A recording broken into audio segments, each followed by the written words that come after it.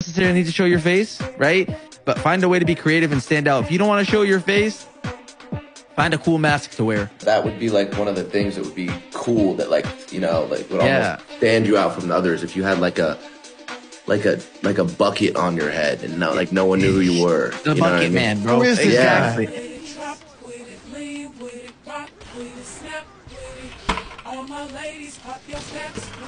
No! Ah!